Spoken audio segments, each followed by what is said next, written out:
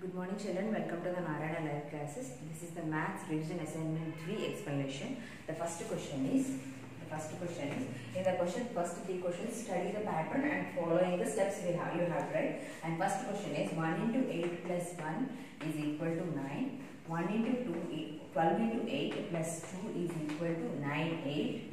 1, 2, 3 into 8 plus 3 is equal to 9, 8, 7.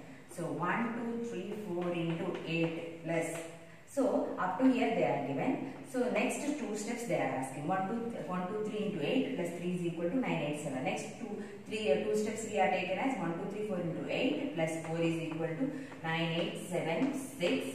1, 2, 3, 4, 5 into 8 plus 5 is equal to 9, 8, 7, 6, 5. If you wanted to multiply, multiply and add, you have to get this one only.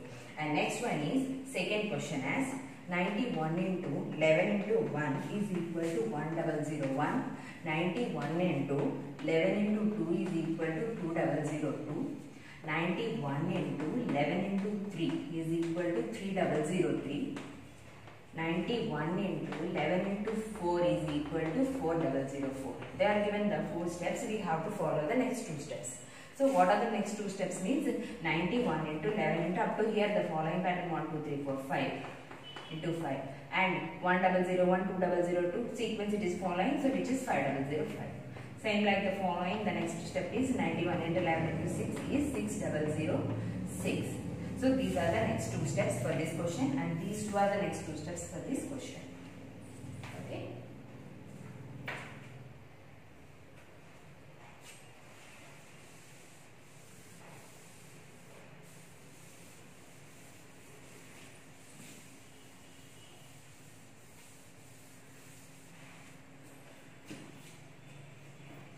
The third question is 143 into 7 into 1 is equal to 1001 and 143 into 7 into 2 is equal to 2002.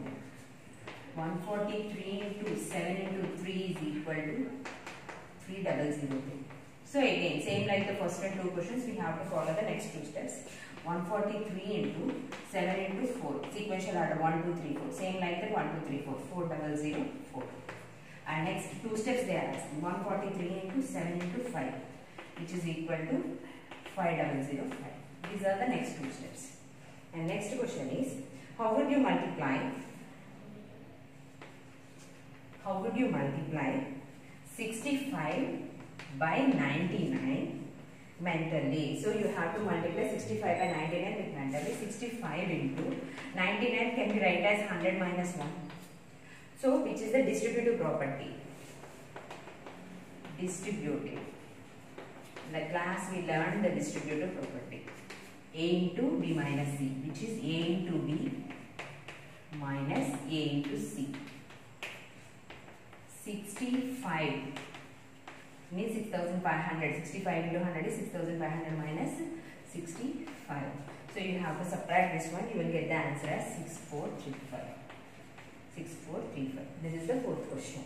And same like the fourth question we are having the fifth question also. Fifth question also. How would you multiply?